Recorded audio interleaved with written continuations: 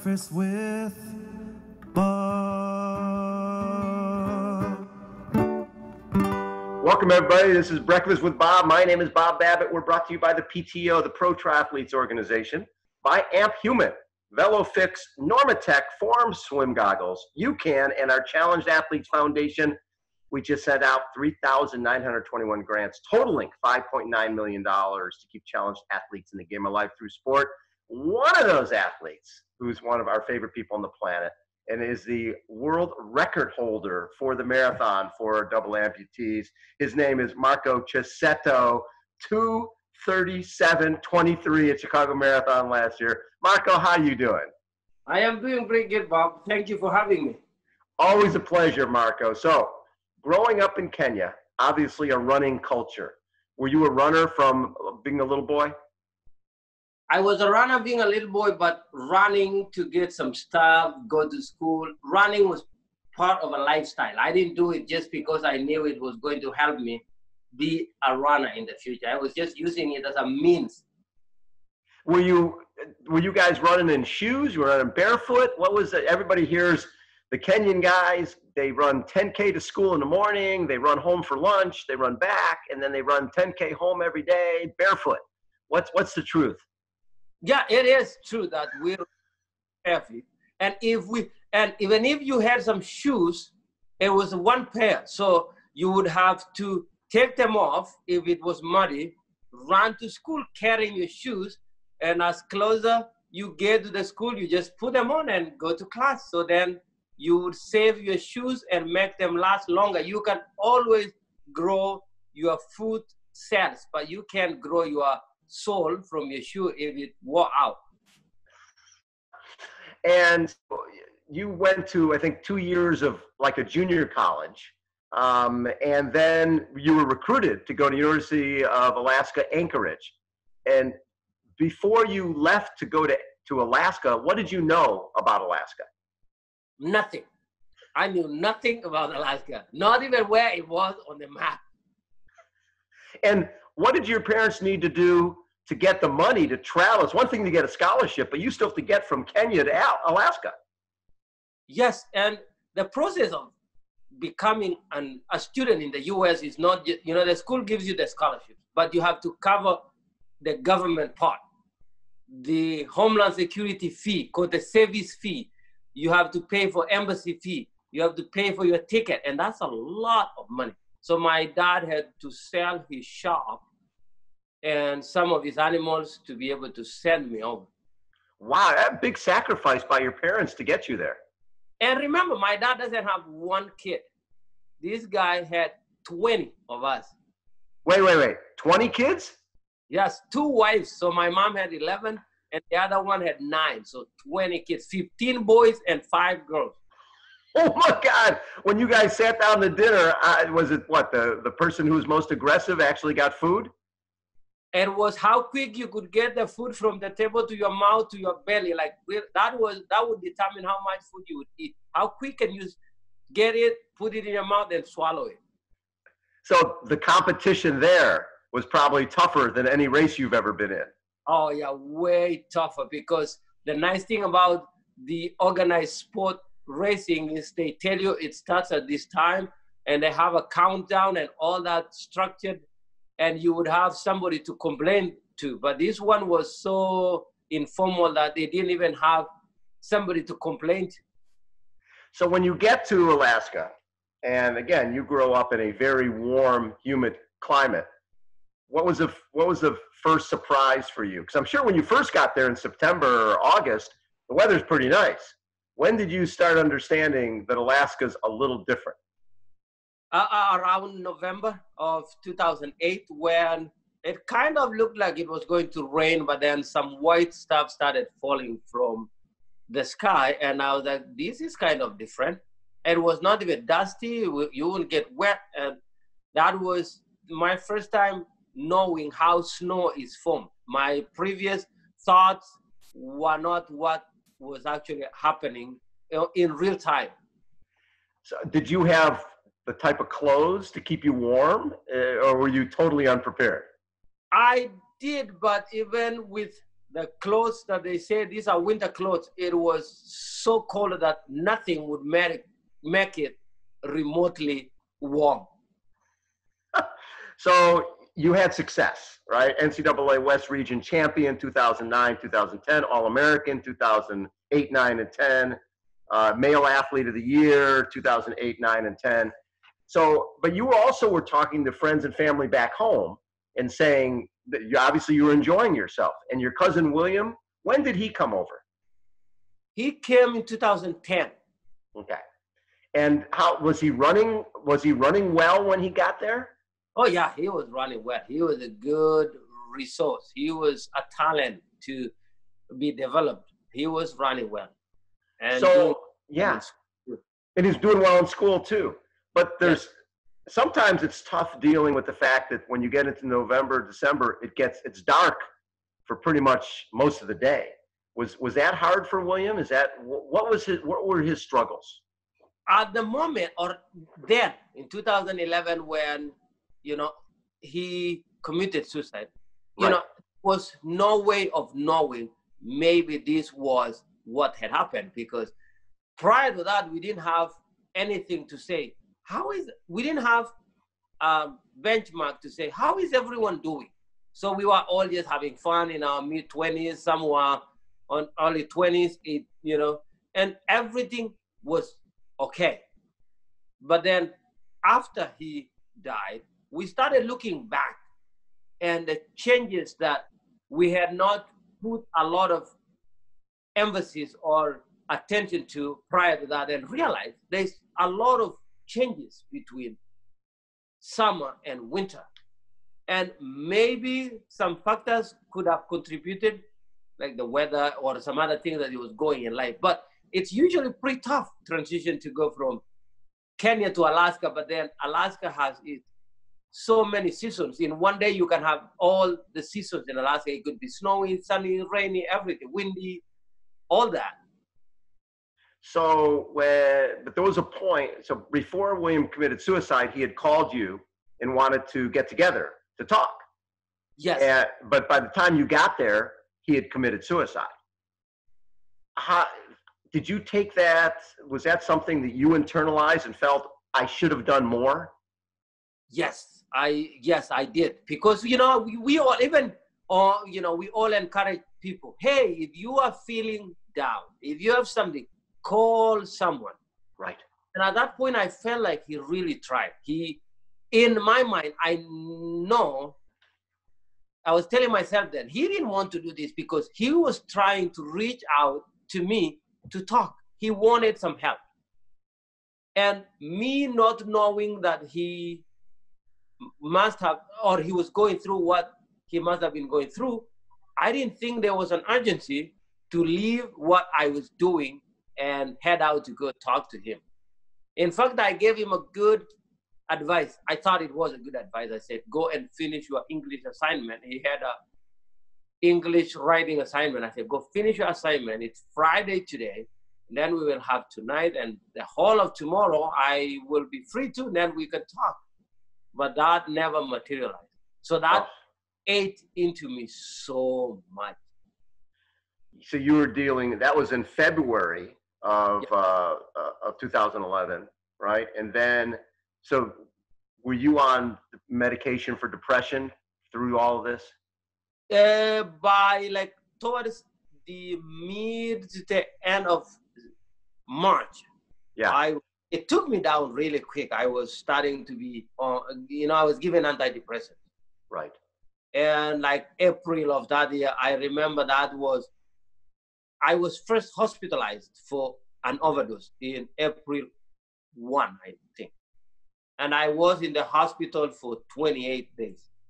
Wow. Did you feel when you came out of the hospital that you had dealt with it, or was it still there, still Yes, lingering? I, I felt that I had dealt with it pretty well. But there's one point that I always share with people about mental health. And the idea that it's just an illness that you can get over with.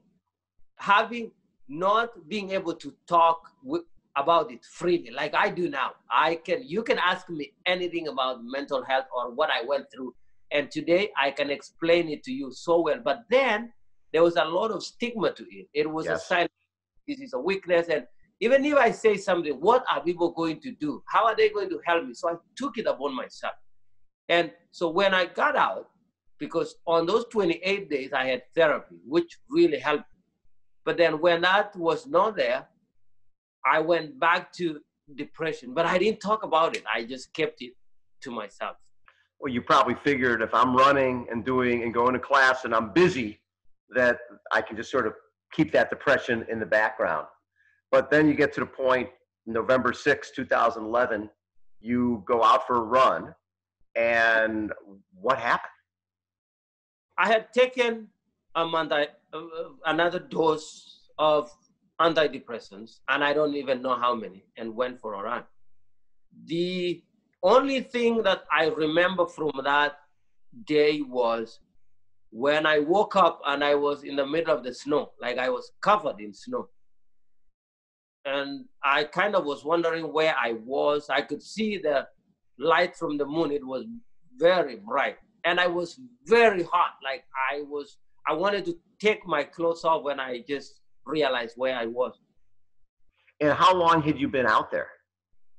I didn't realize how long I had been out there. I thought maybe this was just maybe like what uh, I'm still on my run and maybe something just happened until I walked into a hotel lobby and that's where a worker who was working at the hotel asked me where I had been for three days, more than 56 hours. Three days. Yes. The fact that you're alive is unbelievable. And when they got you to the hospital, what was the diagnosis at that point? it was severe frostbite. And when I got to the hospital, I thought my hands were the ones that were badly damaged because of the pain that I was feeling. It was the most painful thing I've ever felt. But when the doctor asked me about my feet, and I said, My feet are okay because there is no pain, that was when he said, uh, That's not a good sign. Pain is always a sign of life and that is what has been pushing me even in my running. I'm like oh it's getting painful but then, hey but remember this is a sign of life. Pain is good. yes. When they made the decision that they needed to amputate your legs, what was your reaction? I honestly went no even though i had seen in the four five days that i was in the hospital that my feet was starting to uh, decompose it's starting to fall off. Like it looked like my nails were falling off. But you know you still have the hope that you know a miracle will happen. But then when they said we are going to amputate your feet i really didn't know what to tell myself. And there was nothing that i really told myself actually. I was just numb and i said you know okay. But not really an okay that i really wanted my feet to be amputated. But the next phase was the hardest one. I decided i wanted to let my dad know because while i was in the hospital you know my friends were showing me how the news were all over that i was found and you know it's all over the globe and I said, I don't want my parents to be surprised just reading it on the news that their son has lost their feet. And I was more concerned about my mom. Yeah. So I called my dad and I told my dad they are going to amputate my feet below the knee tomorrow. But I don't want you to tell mom. I will be the one to tell her. But I want you to know that is what is happening and just, I'll be fine. And it was it went silent for like almost five minutes. Like my dad didn't say anything, and I kind of tried to check if we had a disconnection. I said, "No, I'm still here." And I said, "Okay, you have anything you want to tell me?" They "No," and then he hung up. And then you had a, after the operation, you called your mom? No, after no, I didn't call my mom after the operation. You know, of course, the news was an amputation, and I called my mom, and uh, then and then he said, she said, "Hey, how are you? You know, I am told you had frostbite," and I said, "I'm doing good." They are now, you know, I had to craft a message that was comforting, but not very assuring at the same time. I was trying not to tell my mom the, the whole story, but I also didn't want to tell her that something was good and it was not. So I told her, you know, maybe I might lose a few toes here and there, maybe below the ankle, and I'll be, I'll be fine. Because uh, my goal was my mom reaction and feeling will be better if she could see me Yes. physically rather than me talking and hard thinking maybe I'm faking this to just make her happy. And I organized for them to come to the US, but my mom didn't want to fly, so she's like, I'm not coming, I'm not flying. So my dad came over and then we took some videos and my dad took them back and you know it, it, it was comforting that my mom took it positively and said you know i'm happy and i've seen that you lost your feet below the knee but i'm okay. As long as you're doing good i'm good. I said mom do you want me to come back to kenya? She told me something really interesting. She said in life good things and bad things can happen to you anywhere there is no specific place for good things or bad things it can be anywhere so it's up to you. If you feel like you will feel better coming home, you can come home. I'm always welcoming you back home. But if you still feel like America is your place, then I have no problem with that. So after William passed, you were on depression medication. Did you need to go on depressants, the depression, uh, depression meds after you had your legs amputated? They, the doctors wanted to keep me on antidepressants, Yeah. but something really strange. It was a peculiar experience. After my amputation, like two days maybe, I felt better inside me. You know, something in me told me I was doing okay. But I was in denial on that good feeling to say, you know, you just lost your feet and you're telling yourself you are feeling better. This is your head going really crazy. But it was after my amputation that I realized you know, if you truly had control over things in life, like your cousin and all that, would it be yourself? Would you have would you have prevented your feet from being amputated and all that? Then I realized, you know, some things in life just happens and we don't have control over. So that really helped me. And I said, and I don't think I need antidepressants. I started, and this is not a medical advice. I am No, no. not a medical professional. This was me you know, assessing my situation and telling myself, you know, I've never had any mental issues. It was just a tragic event in my life, and then I'm on this medication. And it felt like my situation worsened after I was on antidepressants. So I just took a cold turkey on antidepressants and stopped taking them. It was not easy, but after 21, whatever days, I felt okay. And from that point, after I just stopped, I never took them again. When did you realize that you could still be a runner? That even though you didn't have legs, that there was other ways to run? You know, when and it, when I was still at the hospital, my friends visited me. A lot of, and you know, this was 2011. Right. The 2012 Paralympics, Olympics was coming. In London. The infamous South African Oscar Pistorius was a hot kick then. So a lot of friends came with his videos and showed me, says, look, this is a guy from your continent, Africa. He's running like nobody else, and he doesn't even have feet. And it was my first time actually seeing somebody on prosthetic. I even had a gentleman, he was 80 years old then, who was uh, bilateral below knee, who walked to my hospital bed and said, oh, you know, he was just kind of like teasing me on my situation. And I said, this guy is just the meanest person I've ever met in my life. But then he just pulled up his pants and he didn't have legs. He said, look, I was just trying to show you that you still will do whatever you want. It's like, I drive my truck, I do all the things that I used to do prior to losing my legs. And that was when I knew I could still run.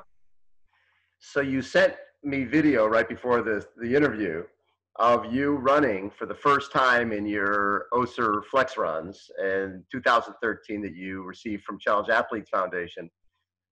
And that was in 2013. What was that feeling like to be running again? And what and that was the day, you know, I had a hoodie you could see from the video. And I started sweating.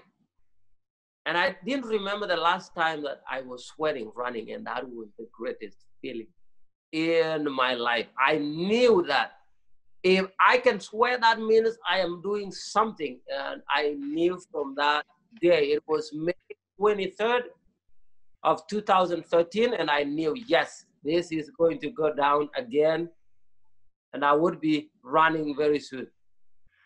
So when did you? At first, I think you were thinking Paralympics, right?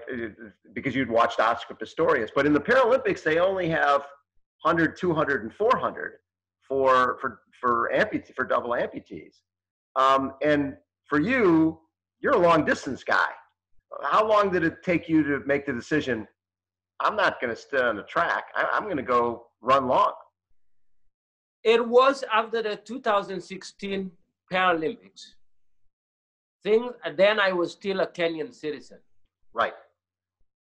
And so the Kenya National Paralympics had their issues, and we couldn't. I couldn't go to Rio, even though I had met the provisional marks that would have taken me to Rio. But then at the same time, during that time that I was to travel to Rio, my wife was scheduled for a C-section. Yes. And our five-year-old now, I missed her delivery because I was in Drake Relays in Iowa.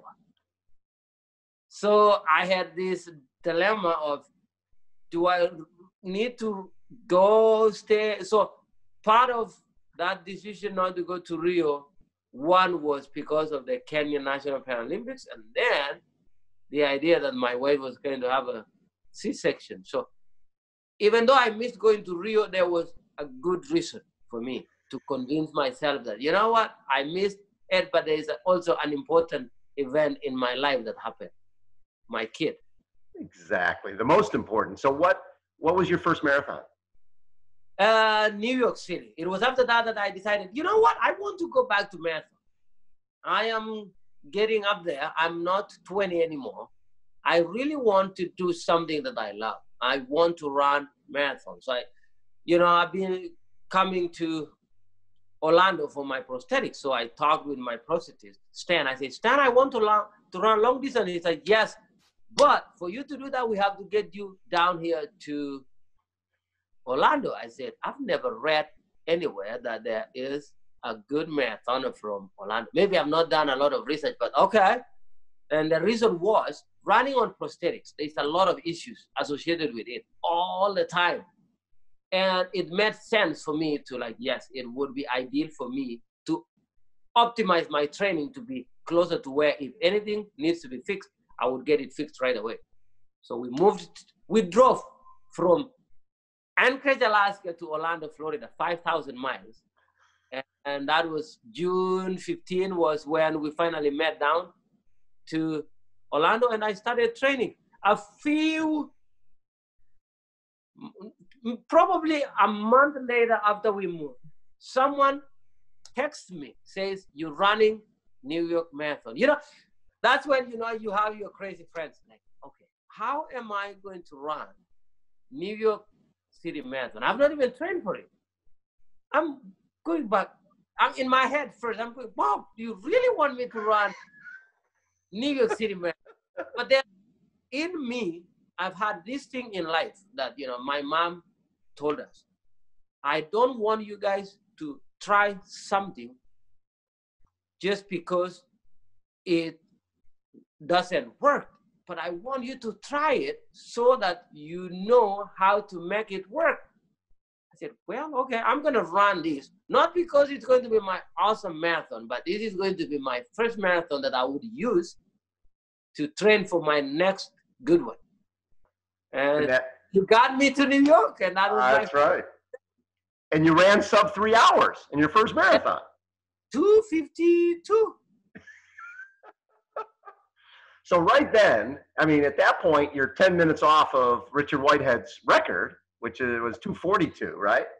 And when you finished that marathon, I bet you knew right away, I can go way faster than this. Oh, I even like yes, halfway through, even though I had not finished it, yeah, I know. I am struggling right now because I have not done the marathon stuff. I just came from driving 5,000 miles to Orlando and I'm running New York Marathon. I knew then that yes, I still had the energy that would push me faster than I was running New York Marathon. And after New York, what was was the next one? Chicago. Yes, the next one was Chicago. But then, And- you know, and my wife, she's always pushing me. She's like, but, you know, Chicago is a long way too. Why don't you go and run Boston? I said, "Yeah, yeah." But at the same time, we're just having some financial issues after, you know, having moved, you know, like, oh, well, maybe. But then a few days later, uh, Marla, the, Marla Runyon. yes, Boston Marathon. texts me and says, "Hey, what do you think? We wanted to bring you to come and run Boston Marathon so that, we can use you and your story to announce our 2020 para section." I said, "Awesome! I would do it because."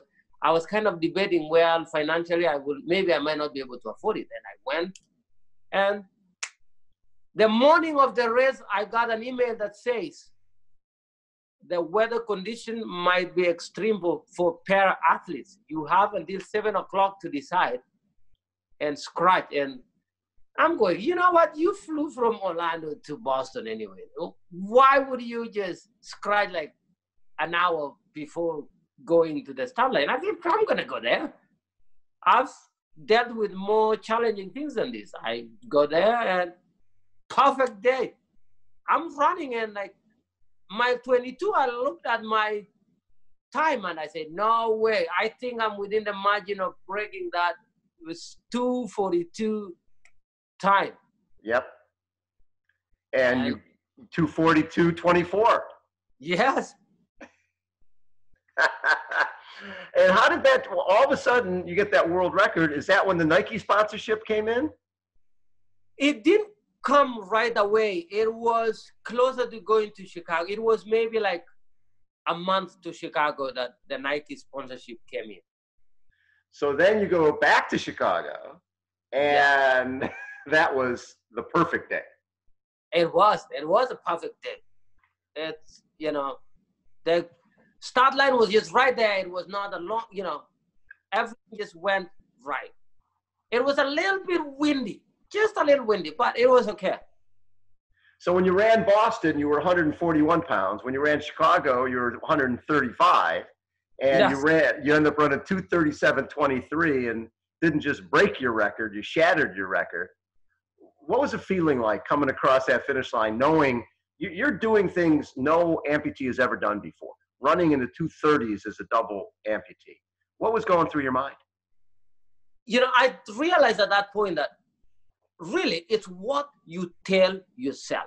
There's no other miracle in things that you can achieve in life. It's what you always tell yourself. Because from the word go, we, you know, you you even remember we had an email correspondence between me, you, uh, Richard Whitehead, and Brooke from Össur. We were talking about, oh, this record is gonna, and I had that confidence that yes, I think I have this. Telling myself that built a lot of confidence in me, and actually doing it in Chicago made me just affirm that yes, it's what you tell yourself because you can even convince yourself not to be able to do the most simplest thing, and it will be very challenging in life. But then the other thing that really, really struck or that came to my mind then too was I am sure there's a kid out there that was struggling like I did, not knowing what to do. Would I go to the Paralympics and run the 400, even not, even though it's not my event, or I venture my own new sport? Create your own sport and do it. People would just support you on your way. So I thought that was a good opportunity and a learning moment for all the other amputees who are out there and not knowing what to actually do.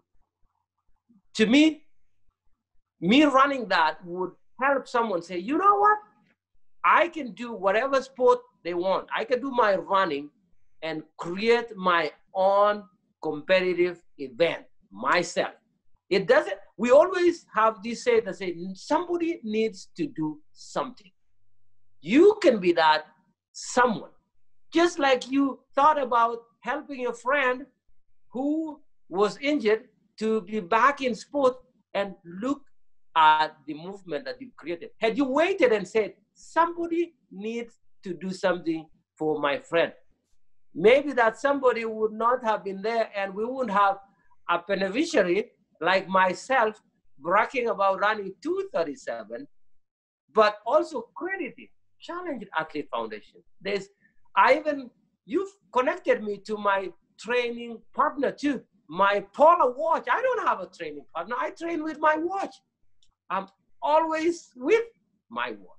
So I think as an athlete, as a human being, it's what is in you. Go with what the good things that you're thinking about and pursue them. It will change you and someone else's life too. After you broke the world record, that, that second time in Chicago, how did your life change, or did it? It did. My life changed in so many ways. One, Boston. After I ran that Boston, it opened a door for me to get Nike sponsorship. Yeah. And that meant I had the financial um, means to train better for my next races.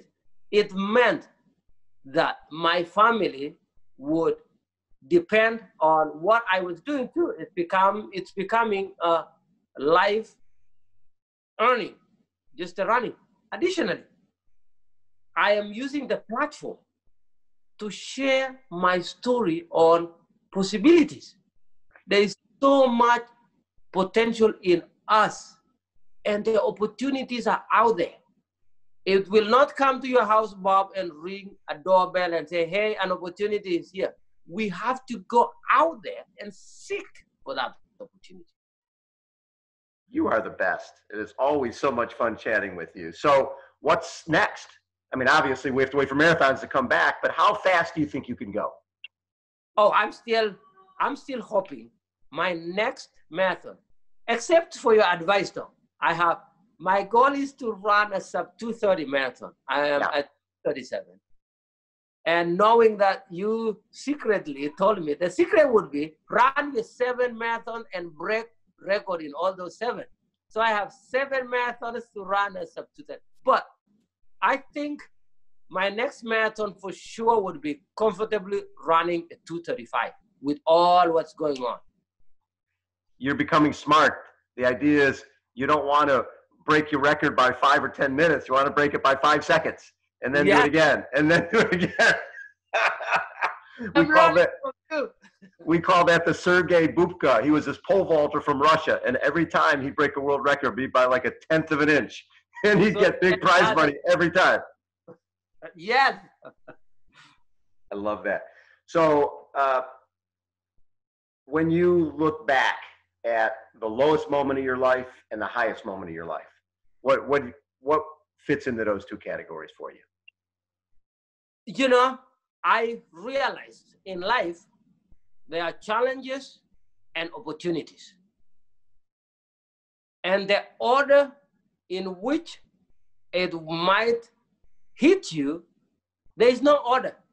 You can start with being the most successful person in life, and then all of a sudden get hit by a tragedy.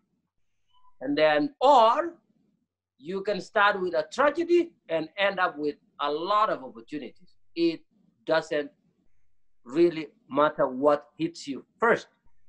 It's readiness and training our minds that part of life is opportunities, challenges, tragedies, gratitude, grace, kindness, all those together makes us who we are. My story might sound like a tragic story or story of a great comeback, but every person has those stories. It's only that we've never had everyone on video to tell us their stories. So when you we've been obviously working together with you and CAF for, well, seven, eight years now. What's your favorite CAF moment? Oh man, that triathlon in San Diego. And, And, what, you, ma- what makes that special? you know, the first time when I came in 2013, or maybe 14, I'm not very sure, around that year, those two years, um, I felt like I was the only different person in Alaska all, all the time. And I had a feeling of, man, you know, my life has been limited because of my amputation. Came to CAF Foundation. And the most inspiring part are small children. These guys have the greatest smile on their faces, but physically, you can see the most challenging conditions they are going through in their lives, but they are still smiling. That motivated me in all aspects of my life. I, every time I feel like I have something that is pushing me down, I just flash back to the CAF event and I'm like, no, remember those kids. I saw one kid, maybe she's an adult now. She was missing both hands and she was able. She was just talking to someone on the phone and I'm like, look at that. And they were laughing with that person. And I'm like, look at that. Just see that. But then at the same time, their happiness came from the idea that there was somebody, there were people that cared about them and they were there because they wanted to support them. It was just eh, that every time I get asked, who inspires you? I have this general comment. It's not very specific, but I always say the good people who are doing good things to benefit people who they don't even know. There are so many people who have contributed, donated to CAF to help challenge athletes that they will never ever see in their lives. That's amazing. Marko, you are the absolute best. It's always so much fun to chat with you. Now, are you trying to become an American citizen? Is that a goal? Oh, Bob, I have been an American citizen for a long How long now? How long now? Two years now. It's gonna be two years in November.